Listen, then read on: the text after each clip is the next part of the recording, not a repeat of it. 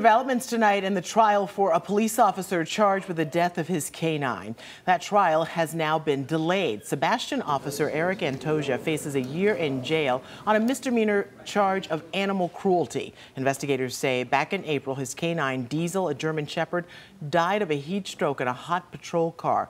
Trial was expected to begin today, but as News 6's James Sparvero explains, new developments put everything on hold.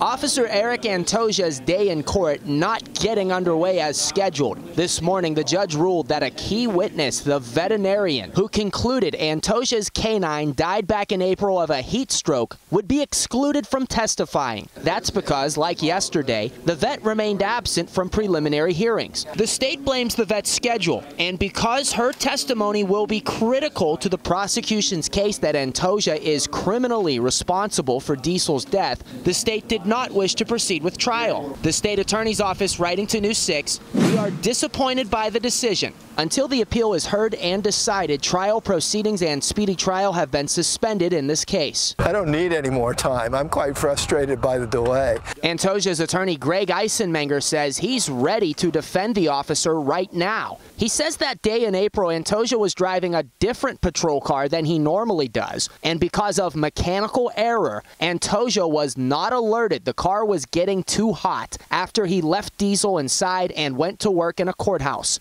The 14-year Sebastian police veteran carries a strong inner circle of support. His wife is expected to testify. He's had a lot of family members and support, support from members of his department. It's really been very nice to see the, how much the community has rallied around him. And according to the defense, the state's appeal could take a couple of months. In Viera, I'm James Sparvero, News 6.